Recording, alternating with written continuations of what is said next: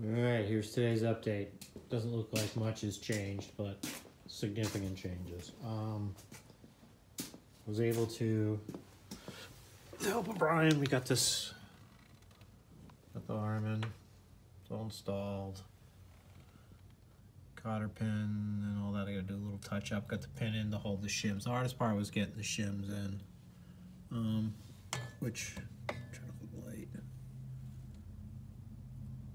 Anyway, so you want to replicate the amount of the shims that you had originally, so we were able to duplicate that. I got the kit.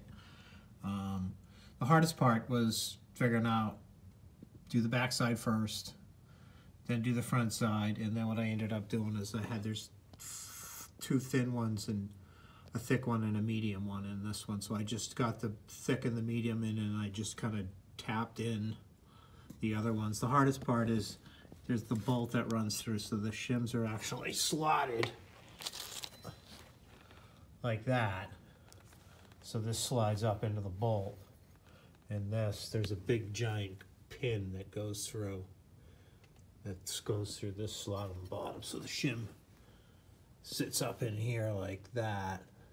So you have to drive these thinner guys in there. So that was a bit of a challenge, but stepped back, looked at it, looked at a couple videos to see if I could pick anything up. My lighting here is terrible. Sorry about that.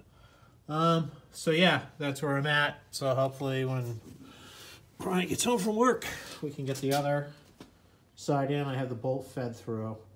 And I'll play with the shims tomorrow.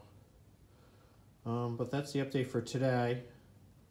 Not too much excitement. I kind of took it easy. My back was a little wretched from wrangling with this thing and figuring out how to get it up and in. But now they kind of have a handle of what's going on. The other side should be a little less painful. Um, so yeah, that's it for today. Or for this update at least. Hopefully maybe there'll be something later on.